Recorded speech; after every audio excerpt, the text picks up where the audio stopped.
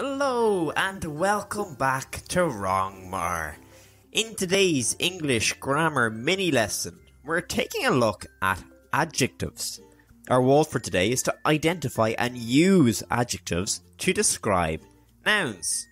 So, first, the most important question we could possibly ask is what is an adjective? If we don't know that, well, we can't go very far at all. Pause the video and see if you can write down what you think an adjective might be. Well, what did you get? An adjective is a word that describes a noun. That means it gives us more information about the noun. For example, this ball is yellow. So, yellow is an adjective. It tells us more about the ball. An adjective is also a word that compares two nouns. So, for example, this man is taller than the boy. So, taller is a comparing adjective. Okay, so adjectives are words that describe nouns. But why do we even need adjectives? What's the point of them? Well, without adjectives, all of our stories and our writing would be extremely, extremely colourless. What do I mean by that? Well, without the juicy details of adjectives, all of the nouns in our stories would be very plain and boring. People wouldn't have interesting features or characteristics. Buildings would be boring and plain. The world would be colourless. It may as well just be black, white, and grey. Writers use adjectives to paint a colourful picture in the heads of the readers. That's what you do too when you write. Let me show you why adjectives are important. I'm going to describe a picture to you, and I just want you to imagine it in your head. But I'm going to use no adjectives, just the bare minimums. Okay, you ready? Okay, so in the picture I'm looking at, there are people in a room.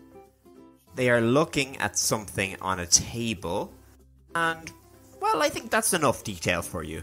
So, have you got a perfect picture in your head? You know exactly what it looks like? Well, does it look like this? I would be pretty surprised if it did, because my description was not very good. I didn't use any adjectives, so there's no way you could have known all the details of the picture. Now, do you see why they're important? All of these words are examples of adjectives. Some of them describe a noun, like red, or tall, or small, and some of them compare two nouns, like stronger or smarter. The important thing to remember is all of these words are adjectives because they give us more details about a noun. Okay, let's try a little quick activity here. Take a look at the six words down below. Can you spot which ones of these are adjectives, describing words for nouns, and which of them are not? Pause the video and see if you can find them. Well, how did you get on? There were three adjectives in that list blue, happy, and nicer. Did you get those? If you did, good job, well done, you're getting a hang of adjectives. Let's try another practice activity. Have a look at this little hiker minifigure. Look at all the little details his face, what he's wearing, all the clues. Then, can you tell me which of these six adjectives do you use to describe this minifigure? Pause the video and write down your answer. Well, how did you get on? The three adjectives I would use to describe this fellow is happy, for sure, definitely yellow, and I would say that he is brave because it looks like he's going on some sort of adventure. He's definitely not bald, so we wouldn't use that adjective. We don't know if he's fast because you can't really tell from the picture, and he certainly doesn't look cold with all those layers on him. Okay, so remember, an adjective describes a noun, gives us more details about the noun. Take a look at this list of nine words. Some of them are adjectives and some of them are not. Can you pause the video and sort the words into the correct category? You can pause the video now and give it a try. Well, how did you get on? There were five adjectives in that list tall, stronger, fast, smarter, and loud. The words lunch, dance, jump, and mouth are not adjectives, they don't describe nouns. Okay, so now that we know what adjectives are, let's see if we can identify them in sentences first. So, here's three sentences down below. There is one adjective in each of the sentences. Can you pause the video and see if you can find the adjective? Remember, an adjective describes a noun. Pause the video and give it a try. Well, how did you get on? The adjective in the first sentence is faster because that's telling us more about the boy. The second sentence, the adjective is silent because that's telling us more about the school.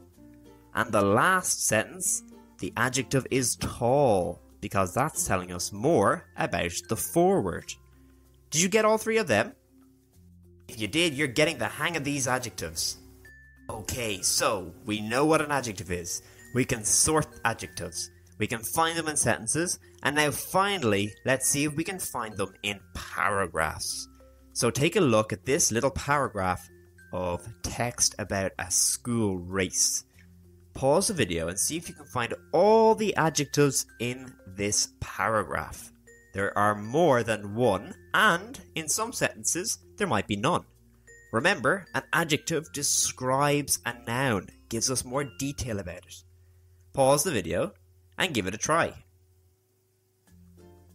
Well, how did you get on with that? That was tricky.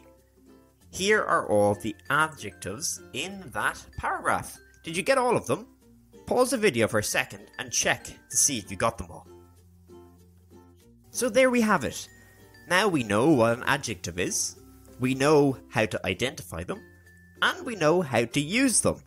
We're ready to try the practice activities down below to do a little bit more work on adjectives. But before you go, what is your favourite food? Describe it without naming it by answering these questions down below. You're going to need to use some adjectives to do this. I'll try to guess what food you're talking about from your description. Our Walt for today's mini lesson was to identify and use adjectives to describe nouns. That's all we have time for today. Until next time, take care.